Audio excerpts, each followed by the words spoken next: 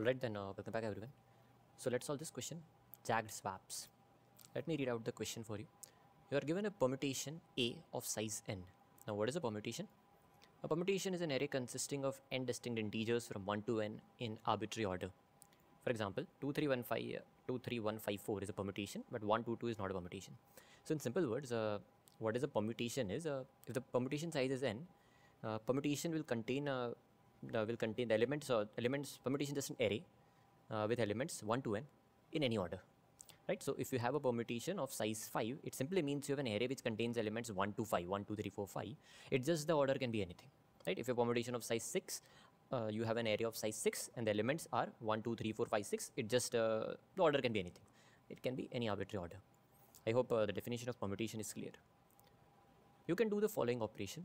Select an index i from 2 to n minus 1 such that ei greater than uh, ei minus 1 and ei is greater than ei plus 1 swap ei with ei plus 1 so it seems like uh, the array is uh, one indexed okay? Because uh, here also i'm seeing an input uh, they are referring uh, ei is from 1 to n fine no issues with that. But i guess they are say considering the array to be a one index based and what they are saying is we can do this operation in our array.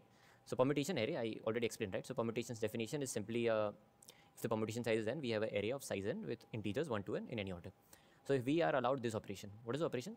Select an index from 2 to n minus 1 basically select uh, any index from second uh, to the second last. And uh, such that uh, you can take any index. And if this is uh, this condition is followed that is ai if you select index let's say 2 and it is greater than both of its neighbors ai is greater than a minus 1 ai is greater than a plus 1 so if an if at a, the element at a given index is greater than its both of the neighbors that's what this is saying we can swap ai and ai plus 1 right? So this is uh, like this. If you have an element here and it is greater than both of its neighbors this element can come here. Right? So this element can move move ahead. It can basically bubble up to the next next cell of the array. Determine whether it is possible to sort the permutation after finite number of operations. Right? So basically what they're saying is you are given a permutation you are given an array with the properties that we just defined uh, with the properties that we just defined and we are allowed only this operation. That is if uh, this operation is also allowed from the second element to the last element uh, second last element so if a if an element is greater than both of its neighbors, then you can just move it to the next cell. If a is greater than a minus 1 and a plus 1, we can move it to the bujji. We can swap it with a plus 1 basically. Determine whether it is possible to sort the permutation. Basically, can we sort the array? That's what it is asking. The input says uh, each test case contains uh, multiple test cases. Okay, fine. So first line of input is number of test cases. This will always happen. Then uh, first line of each test case con consists of single integer n. So permutation of at least size 3 is given and the permutation size is varying from 3 to 10. No problem in that and second line contains uh, n integers a1 a2 n so elements of permutation so basically you know anyway the elements of elements are from 1 to n but what is the order is provided by this second line for each test case print yes if it is possible to sort the permutation no otherwise so if you can uh, after performing finite number of such operations uh, sort the array return yes like basically print yes or print no fine uh, let's understand this test cases uh, understand this test cases in sublime. So here i've copied down the test cases for you firstly. So firstly let me just take the input and then we can understand the question right? So first uh, anyway i've taken the test cases input. Then first line of input is uh, n the size of the permutation. And um, the next line is uh, the array itself right? The permutation basically. So let's take the input array i equals 0 i less than n i plus plus c n array of i fine. So input is taken. Now let, us try to understand uh, what is going on here. So which input should i take uh, let's take this input. Let's take this input. So basically n is 5 so we have a permutation of size 5 1 to 5 elements are present in any order. So what uh, what is our move that is allowed? So let's just uh, say uh, we are just dealing with one indexed arrays. Fine here we are we have zero index arrays but no issues. It will make the explanation maybe a little bit easier here so where was i? Yeah. We can do one more, right? So for any index i index i uh, in 2 to n minus 1 uh, if basically ai uh, is like this. If ai is greater than ai minus 1 and it is greater than ai plus 1 then we can basically swap ai and ai plus 1 so this is the operation that we are allowed.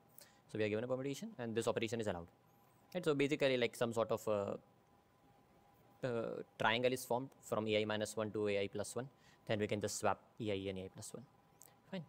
and this operation uh, it is important to note uh, like usually in A rated question, what happens is there is some trick uh, hidden in the constraints that you have to identify and you'll be able to solve it very easily. So the index that is allowed is 2 to n minus 1, right? So that's a good starting point. Uh, that is, we cannot consider every element here. So which elements cannot be considered? For example, first element has uh, no role, like first element cannot change its position, right? So basically, first like clear cut, you can just see that observation. If i starting from 2, first element cannot move, right? So a1 cannot move, like a1 cannot move from its position. From its position. Whatever is a1, it has to be there, right? And what is our aim? The aim is to sort the array. So a1 cannot move from its position. Why?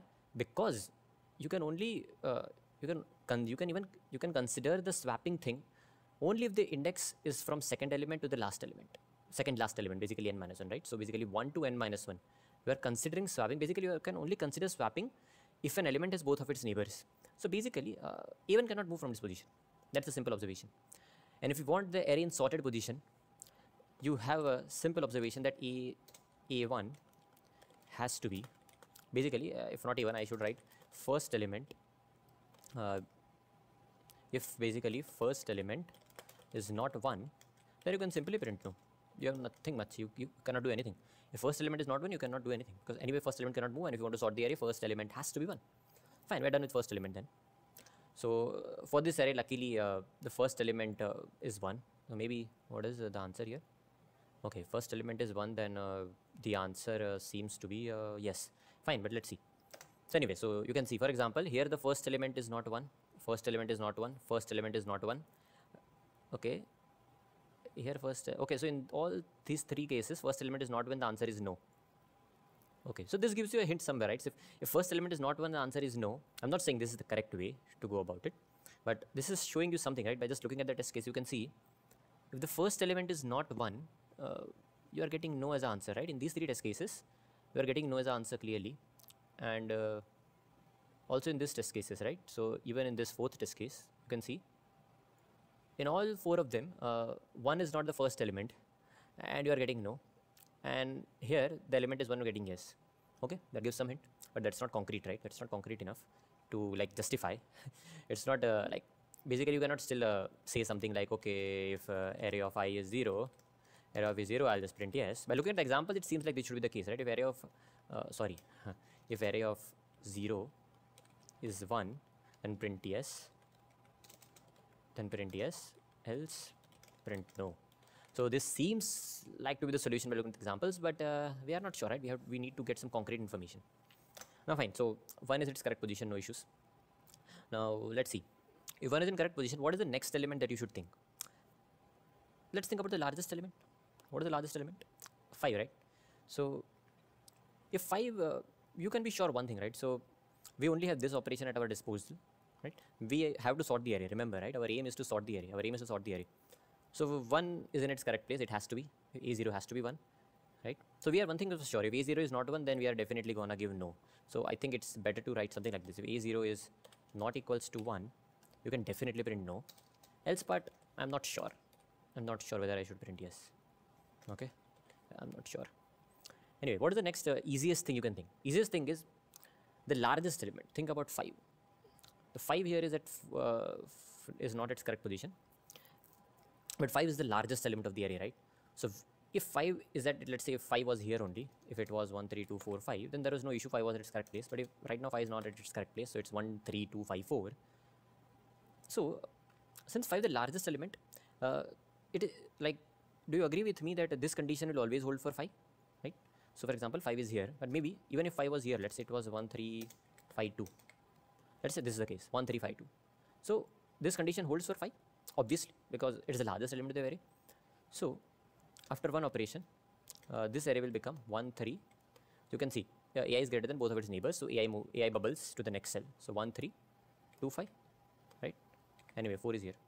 Now, 5 is again the largest, 5 is largest element, so we can again apply we can again apply the same logic 1 3 2 and 5 will move to the last 4 5 so 5 is at its correct place.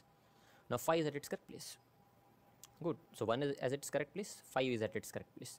Now what is the next element you should have which will be like think about what will be the easiest element. I want to sort the array.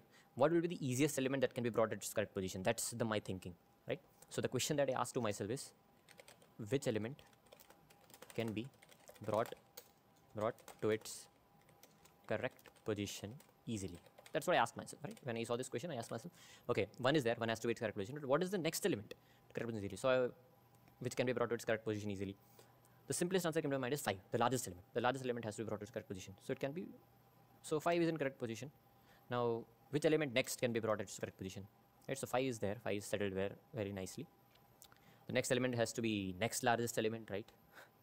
So luckily like 4 is at its correct position. No issues what is the next element? 3 right? 3 is the next largest element. So can 3 be brought to its correct position? Yes right? 3 is again greater than both of its neighbors. So 1 2 3 4 5 right? So you see what happened here right? Uh, if the first element is 1 you can anyway basically you can anyway make the array sorted if you don't get it uh, understand like this. So let's say we have a very big array. The first element has to be one. You sure you are sure about it. Let's say 7 is here. Let's say we have a permutation of size 7 or maybe let's say 10 so 10 is somewhere here. Okay? And some elements are there. Let's say some element is here some element is here some element is here. Fine. And 9 is somewhere here. And then so on. Eventually the last element is something. I don't know what but last element is something right? Here i guess one two three. I hope i have not written more dots than that but fine. So the point is uh, 10 is just the second element. Now since you know 10 is the biggest element after some amount of operation 10 can be slowly bubbled to its correct position right after some amount of operations you can be sure that uh, you can be sure that after some amount of time 10 can be easily brought to its correct position. I don't know what will be here.